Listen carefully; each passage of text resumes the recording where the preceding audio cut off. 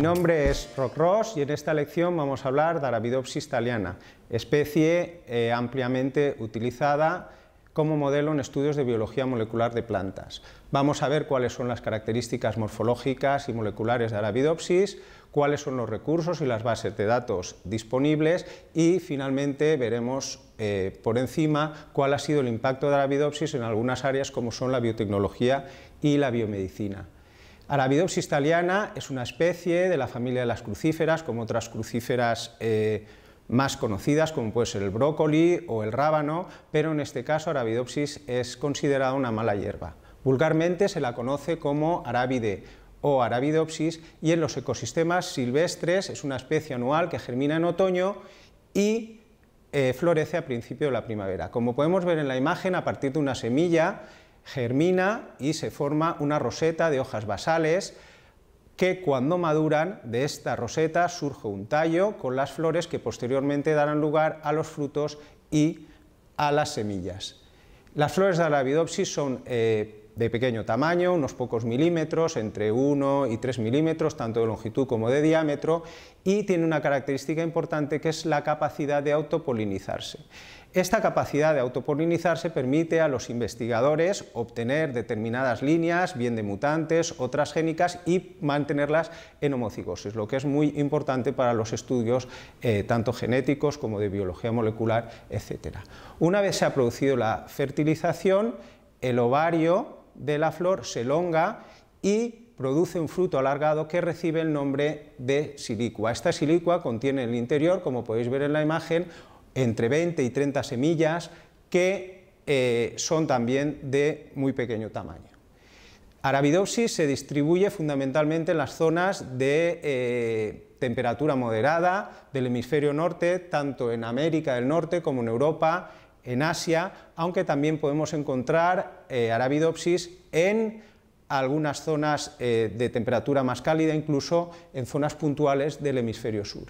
En los años 1980, los biólogos moleculares se fijaron en Arabidopsis como modelo de biología molecular de plantas por sus especiales características. Fruto de los trabajos realizados por estos investigadores se consiguió en diciembre del año 2000 eh, tener la secuencia completa del genoma de Arabidopsis, siendo por tanto la primera especie de plantas superiores cuyo eh, genoma estaba completamente secuenciado. Este genoma es de pequeño tamaño, tiene cinco cromosomas y comparado con el de otras eh, especies eh, de plantas superiores, como he dicho, es de un tamaño bastante menor.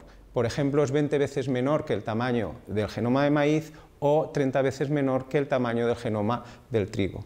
Como podemos ver en esta imagen, eh, es muy fácil de cultivar en laboratorio por su pequeño tamaño, pudiendo cultivar cientos de individuos, incluso miles, en una sola placa Petri.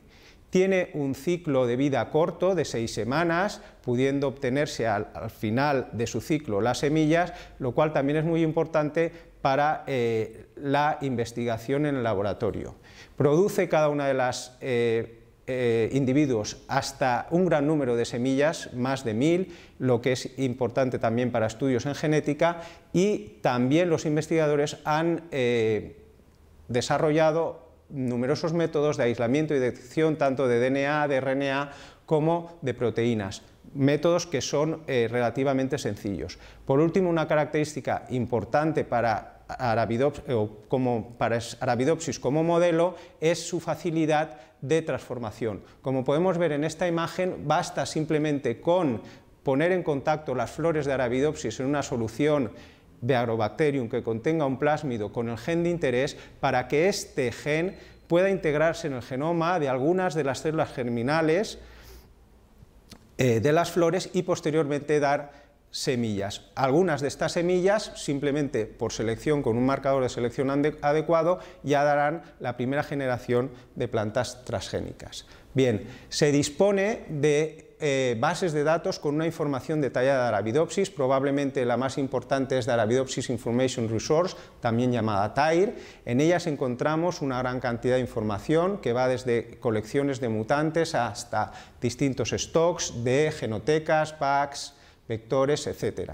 En estas bases de datos también hay disponibles herramientas bioinformáticas y numerosa información de genes de interés, desde, por ejemplo, patrones de expresión, de a nivel espacial y temporal de los genes que queremos estudiar o incluso eh, cómo afectan las distintas condiciones ambientales a la expresión de estos genes.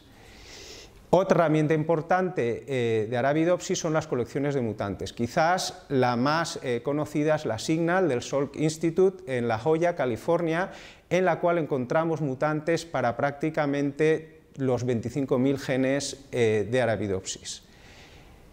Por último, eh, quería hacer un pequeño resumen de cómo los conocimientos adquiridos en Arabidopsis se han venido utilizando, por ejemplo, para diseñar plantas con un valor nutricional añadido.